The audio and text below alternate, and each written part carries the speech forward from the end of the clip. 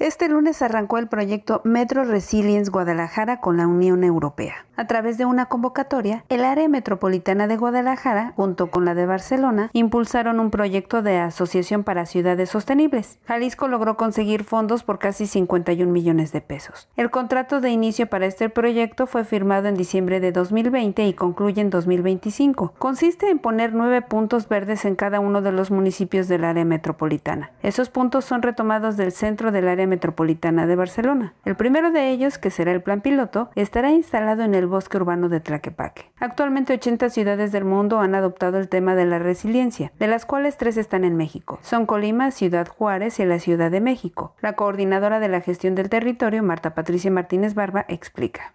Nos entusiasma mucho desde el gobierno del Estado y en particular de la Coordinación de Gestión del Territorio poder acompañar al IMEPLAN en el inicio formal de los trabajos para consolidar el proyecto de residencia urbana más importante de las últimas décadas en la metrópoli.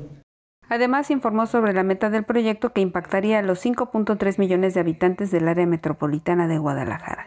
Es importante mencionar que el proyecto que hoy nos convoca no solo nos impulsa a trabajar de manera coordinada por la resiliencia del territorio, sino también nos acerca al cumplimiento de las metas y de los objetivos establecidos en el Plan de Acción Climática para el área metropolitana de Guadalajara específicamente el que está enfocado en la disminución de emisiones a través de la reducción del 30% de los residuos que llegan finalmente a los rellenos sanitarios.